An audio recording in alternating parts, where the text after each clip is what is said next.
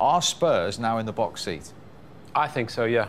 Especially obviously with the games in hand. I think as soon as Antonio Conte came in, the run that he's been on, I mean, the only thing you would say is they only scored 26 goals this season. All the other teams out there, they've got 30, 40s, and, and 50s. So it needs to address that. Son obviously being out is a, is a huge blow.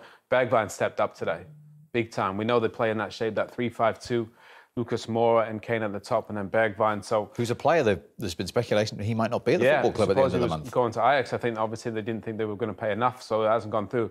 I can't imagine he'll be going anywhere where now. I mean, two huge goals, and I think with Conte and the way that they play on the counter, you know, right now, and defensively so improved, I think they're they're the favourites for the top four.